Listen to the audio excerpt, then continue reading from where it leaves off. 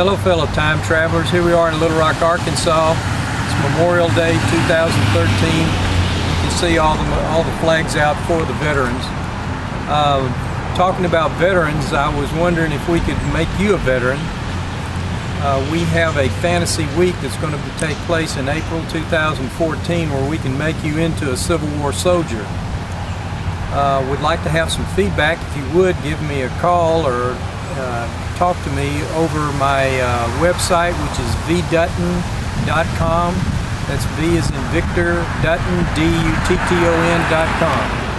Uh, let me know if y'all would be interested. Sure would appreciate having the privilege of making you a Civil War soldier. Y'all take care. Have a great time. Bye.